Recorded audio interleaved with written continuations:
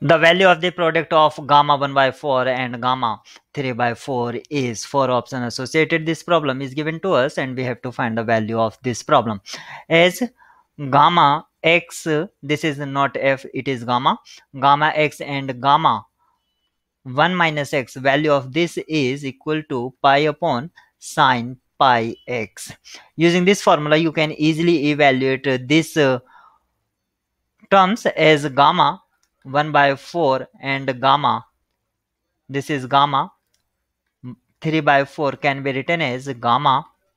1 by 4 and gamma.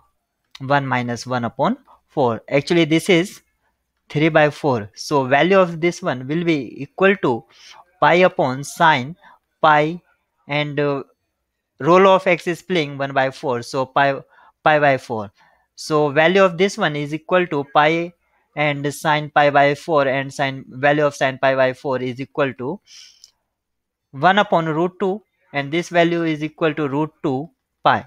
So which one option is giving root 2 pi? Option C is giving root 2 pi. So C is correct answer.